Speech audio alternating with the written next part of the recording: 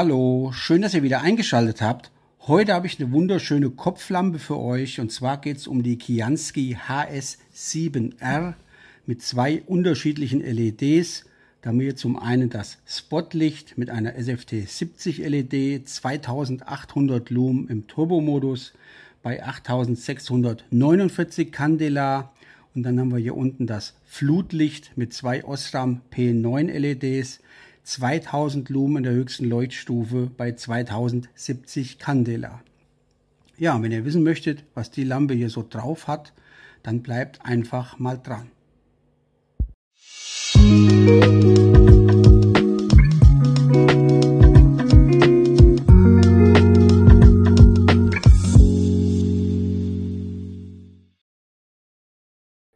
An der Stelle geht erstmal ein Dankeschön an die Firma Kianski raus, die mir diese Taschenlampe für das heutige Video zur Verfügung gestellt haben. Danke dafür. Ja, geliefert wird die HS7R im ansprechenden Pappkarton. Hier mit Magnetverschluss. Gefällt mir schon mal richtig gut. Ja, so sieht das Ganze aus. Ich würde sagen, wir schauen uns mal an, was wir hier alles so mit im Lieferumfang dabei haben.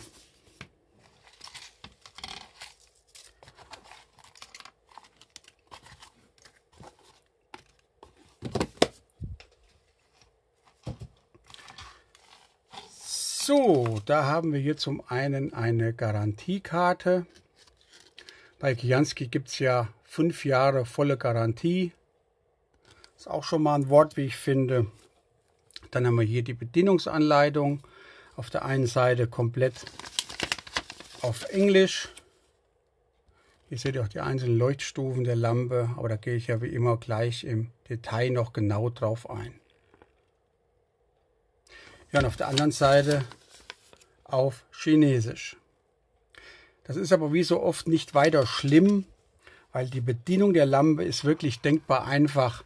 Wenn man sich damit mal drei, vier, fünf Minuten beschäftigt hat, dann weiß man im Prinzip, wie das Ganze funktioniert. Ja, dann haben wir hier noch so ein Nylon Tragetäschchen, sage ich mal, habe ich so in der Form auch noch nicht gesehen. Ein USB-A auf USB-C Ladekabel. Zwei Ersatz-Ohrringe und dann haben wir hier die HS7R. Steckt schon hier in der Edelstahlhalterung drin. Das Stirnband ist wirklich ganz weich und angenehm zu tragen, macht einen richtig hochwertigen Eindruck. Also vom Tragekomfort her würde ich fast behaupten, sind die Kianski Stirnbänder oder Kopfbänder mir mit Abstand am liebsten. Ja, dann könnt ihr hier vorne die Lampe einfach rausklipsen das geht relativ einfach. Oder auch wieder reinmachen. Hier sitzt die Lampe bombenfest drin. So könnt ihr halt den Leuchtwinkel einstellen, wie ihr ihn gerade benötigt.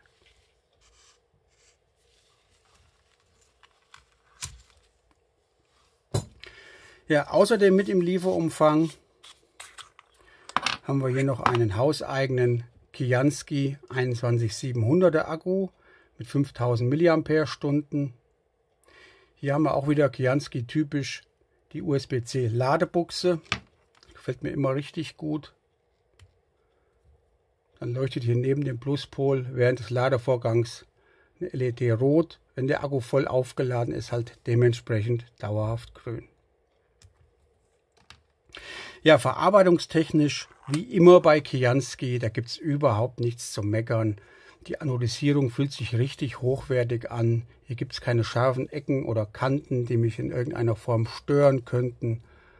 Also ich habe euch ja schon einige Kianski Taschenlampen vorgestellt. Ähm, von der Seite ist wirklich alles in bester Ordnung. Das Gewinde ist sauber geschnitten, leicht gefettet, vergoldete Feder in der Endkappe. Na, in der Endkappe ist übrigens ein starker Magnet verbaut. Das macht die HS7R natürlich wesentlich vielseitiger einsetzbar. Ja, dann haben wir hier nochmal eine USB-C Ladebuchse. Das Ganze sieht dann so aus während des Ladevorgangs. Da leuchtet hier oben im Schalter, im Kopf der Lampe während des Ladevorgangs ein LED rot, wenn dieser voll aufgeladen ist, halt dementsprechend grün. Schalter ist gummiert, lässt sich super drücken, hat einen prima Druckpunkt, alles wunderbar. Ja, dann gibt es außer dem Schalter hier oben am Kopf der Lampe noch einen Seitenschalter aus Aluminium. Mit diesem schaltet man die beiden Osram P9 LED oder LEDs fürs Flutlicht ein und mit dem gummierten Schalter hier oben am Kopf der Lampe halt das Hauptlicht oder Spotlicht mit der SFT 70 LED 2800 Lumen bei 8649 Candela. Ja, wie eben schon erwähnt, haben wir hier die zwei Osram P9 LEDs fürs Flutlicht, 2000 Lumen im Turbo-Modus bei 2070 Candela.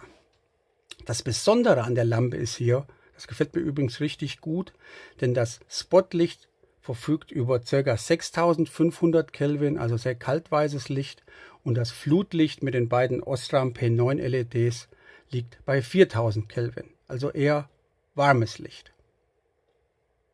Wie das Ganze sich verhält, das zeige ich euch natürlich im Laufe des Videos noch genau. Von der Optik her wirklich eine wunder, wunderschöne Taschenlampe, wie ich finde. Ja, ich würde sagen, wir kommen erstmal zu den Maßen der Lampe.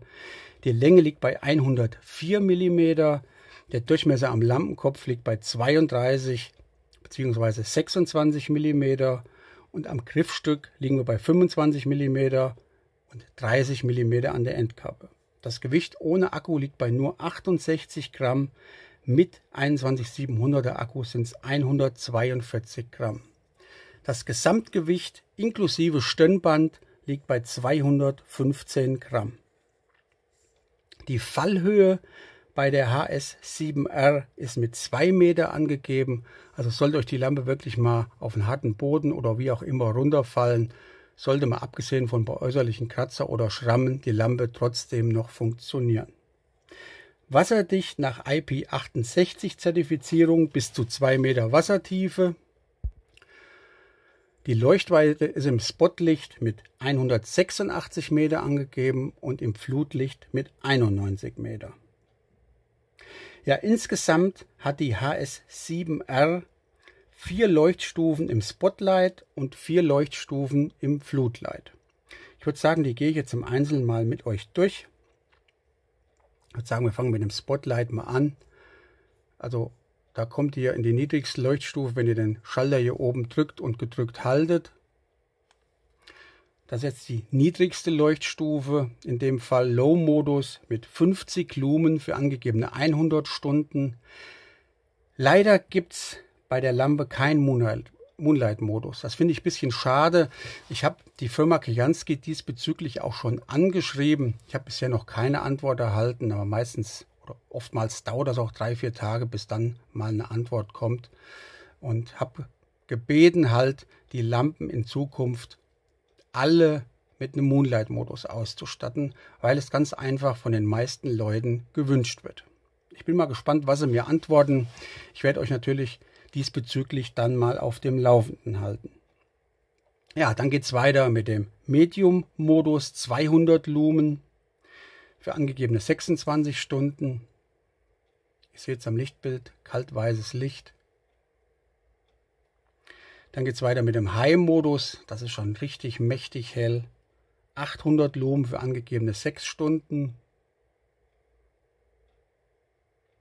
Ja, und dann haben wir den Turbo-Modus. 2800 Lumen für circa 45 Sekunden. Danach regelt die Lampe dann runter auf 800 Lumen.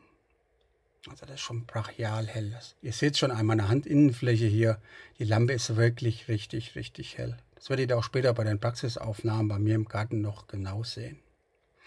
Ja, um jetzt von dem Spotlicht in das Flutlicht zu schalten, könnt ihr entweder die Lampe ausschalten und schaltet dann das Flutlicht über den Seitenschalter ein oder Ihr könnt aber auch, wenn ihr im Spotlight seid, einfach den Seitenschalter drücken und halten und so wird automatisch zwischen Flutlicht und Spotlicht umgeschaltet. Also wenn ihr jetzt im Flutlicht seid, so wie ich jetzt, und ihr wollt in das Spotlicht, drückt halt hier oben den Schalter, So könnt ihr halt ruckzuck umschalten. Auch eine coole Sache, finde ich. Ja, jetzt sind wir im Flutlicht mit den zwei Osram P9 LEDs. Low-Modus mit 15 Lumen. Auch hier gibt es leider keinen Moonlight-Modus. Für angegebene 140 Stunden. Dann geht es weiter mit Medium 100 Lumen. Für angegebene 48 Stunden. Dann haben wir den High-Modus mit 500 Lumen für angegeben 9,5 Stunden. Es kommt auf der Kamera leider gar nicht so rüber. Das Licht ist wirklich ziemlich warm im Gegensatz zum Spotlicht. Aber ich glaube, das fällt so gar nicht auf. Ich schalte gleich nochmal um. Mal gucken, ob es. Ich mache mal das Licht aus und dann sehen wir mal, wie sich das Ganze dann verhält. Ja, dann haben wir noch den Turbo-Modus. 2000 Lumen. Ja, die Lampe ist wirklich, ist brachial hell. Schaut euch das mal an hier. Auch für circa eine Minute. Danach wird die Leuchtstärke dementsprechend nach unten geregelt. So, wie gesagt, Flutlicht haben wir jetzt. Jetzt schalten wir mal, das Licht aus. Vielleicht sieht man das dann besser. Also 4000 Kelvin. Jetzt schalte ich mal das Spotlicht an. Ich glaube, auf dem, auf dem Video kommt es leider nicht rüber. Naja, doch jetzt. Also Spotlicht, Flutlicht, 4000 Kelvin. Ich glaube, bei den Nachtaufnahmen werdet ihr das später noch eher erkennen können als jetzt hier bei mir am Tisch. Lockout gibt es natürlich auch, wenn die Lampe ausgeschaltet ist. Drückt ihr einfach, egal welchen von den beiden Schaltern, für drei Sekunden. Lampe blinkt oder leuchtet auf blinkt jetzt zweimal und wenn ihr den Schalter jetzt betätigt, blinkt die Lampe jeweils zweimal auf und zeigt euch so an, dass diese gesperrt ist. Zum Entsperren auch wieder drei Sekunden drücken. Lampe blinkt zweimal und ist so ganz normal freigegeben. Das funktioniert wie gesagt auch mit dem Aluminium Seitenschalter, also drücken und gedrückt halten. Lampe blinkt zweimal und ist jetzt im Logout. Zum Entsperren auch wieder drei Sekunden drücken und die Lampe ist ganz normal freigegeben.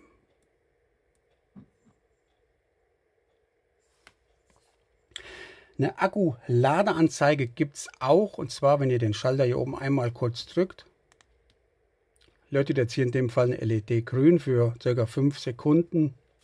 Das heißt, euer Akku hat noch eine Kapazität zwischen 100 und 76 Prozent. Sollte die LED grün blinken, liegen wir zwischen 75 und 51 Prozent. Sollte die LED rot leuchten, liegen wir zwischen 50 und 26 Prozent und rot blinkend halt dann bei 25 bis 0 Prozent. Ja, alles in allem eine wunder, wunderschöne, leistungsstarke Taschenlampe. Ich kann es nicht anders sagen. Preislich liegt man hier allerdings aktuell bei AliExpress bei circa, also offiziell bei 170 Euro.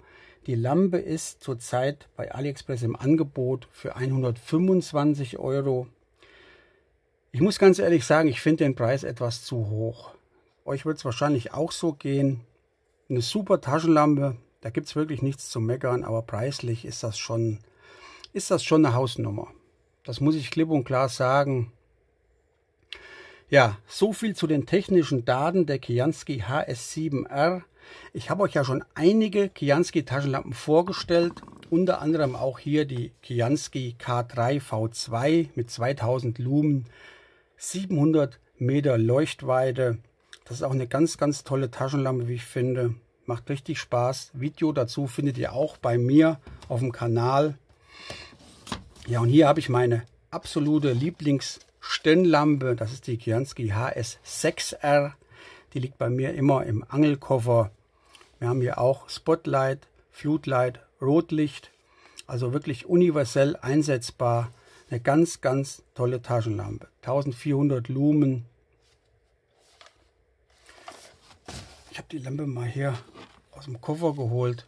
So sieht das Ganze aus. Also die ist wirklich, das ist mein absoluter Favorit in Sachen Stirnlampen.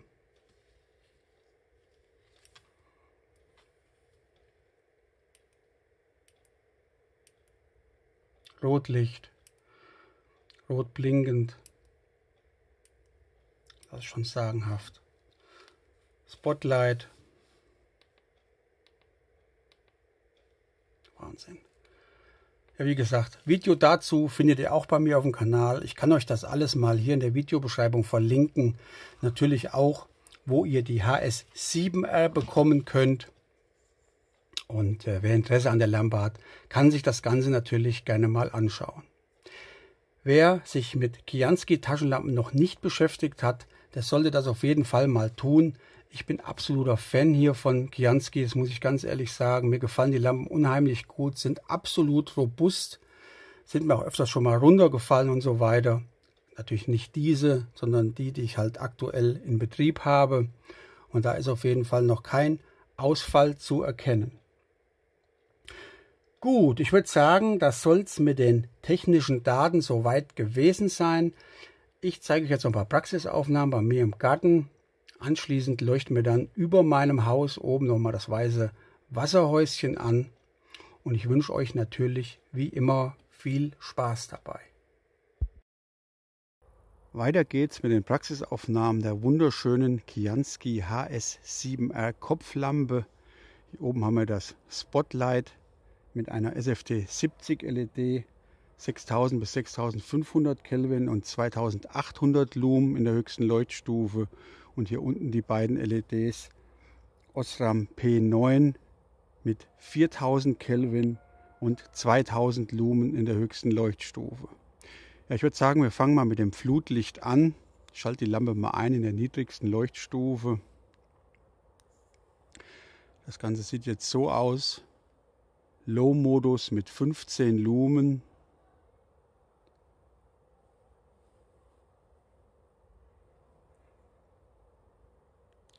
Dann geht es weiter mit Medium 100 Lumen. Bin wieder bei mir hinterm Haus im Garten. Hier haben wir gerade Baustelle. Ja, dann geht es weiter mit dem High-Modus. 500 Lumen, das ist schon richtig, richtig hell. Auch das Nachbarhaus in ca. 40 Meter Entfernung könnt ihr schon richtig gut erkennen. Schaut euch das mal an hier. Wie gesagt, 4000 Kelvin. Warmes Licht. Ja, dann haben wir noch den Turbo-Modus mit 2000 Lumen.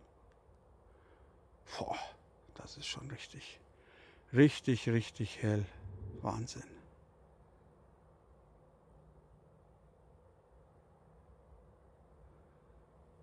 Ja, dann gehen wir mal in das Spotlight. Auch hier sind wir jetzt in der niedrigsten Leuchtstufe. 50 Lumen. Low-Modus.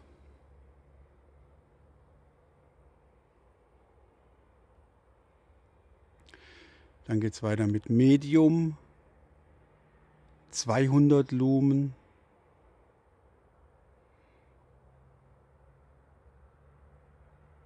Auch hier das Nachbarhaus wieder ohne Probleme erreichbar.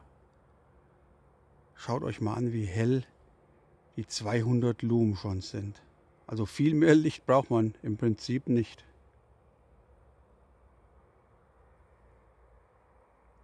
Ja, dann haben wir noch den High-Modus mit 800 Lumen. Wunderschön. Wie gesagt, 6000 bis 6500 Kelvin. Ja, und den Turbo-Modus 2800 Lumen.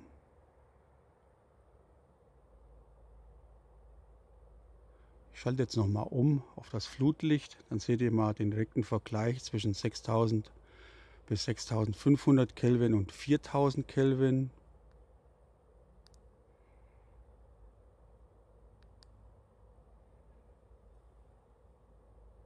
Nochmal das Spotlight.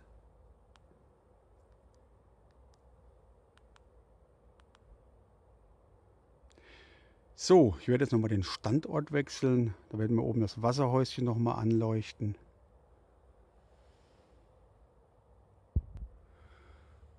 So, ich bin jetzt wieder im Flutlicht. Die niedrigste Leuchtstufe.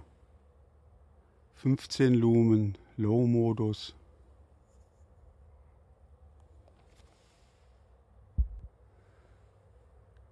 Dann geht es weiter mit Medium. 100 Lumen. Jetzt könnt ihr die Treppenstufen hier ein paar Meter vor mir schon richtig gut erkennen. High-Modus 500 Lumen und den Turbo mit 2000 Lumen. Lampe leuchtet extrem breit aus, wie ihr sehen könnt. Auch wieder ein ganz tolles Lichtbild. Das sieht richtig, richtig gut aus. So, jetzt nochmal das Spotlicht. Auch hier die niedrigste Leuchtstufe. 50 Lumen.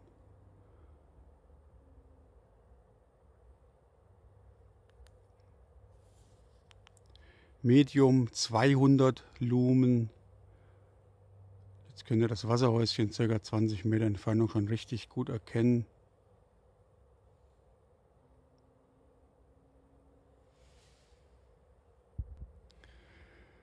Die Leuchtweite im Spotlicht ist übrigens mit 186 Meter angegeben. Ja, den High-Modus mit 800 Lumen nochmal. Das ist schon extrem hell. Und den Turbo mit 2800 Lumen.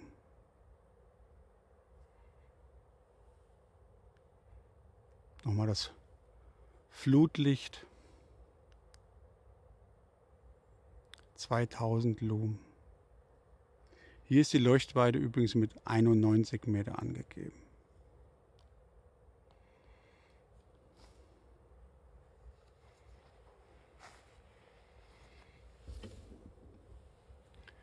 So, jetzt leuchten wir den Weg noch mal runter. Ja, ich glaube, ihr könnt das übernächste Nachbarhaus da hinten leicht erkennen. Das ist auch so um die 90 Meter von mir entfernt. Ja, viel weiter leuchtet die Lampe im Flutlicht auch nicht.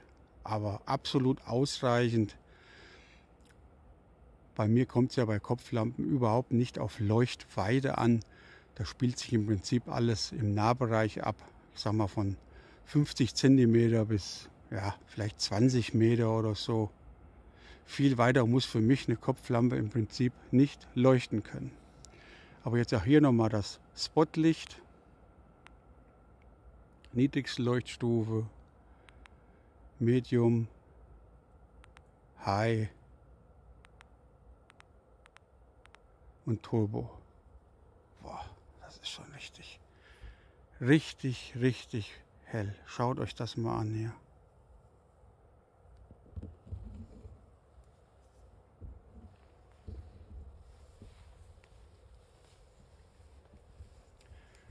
Da unten seht ihr mein Hausdach. Hecke ist ganz schön hoch geworden. Die muss ich zunächst auch mal schneiden hier. Leuchten wir hier noch mal runter. Also mal wieder eine super Taschenlampe von Kianski. Ich habe euch ja mittlerweile schon einige vorgestellt. Für diejenigen, die sich mit Kianski noch nicht beschäftigt haben, den kann ich das nur empfehlen. Das sind wirklich sehr hochwertige LED-Taschenlampen. Ihr könnt euch ja die Videos zu den einzelnen Gianski Taschenlampen gerne auf meinem Kanal mal anschauen. Falls ihr Fragen habt oder mal einen Kommentar da lassen möchtet, könnt ihr das natürlich auch gerne tun. Ja, ich denke, das soll es mit den Praxisaufnahmen der Kianski HS7R gewesen sein. Falls euch das Video gefallen hat, lasst mir doch bitte einen Daumen nach oben da. Abonniert doch meinen Kanal, unterstützt mich etwas. Ja, ich würde sagen, das war's für heute und bis zum nächsten Mal.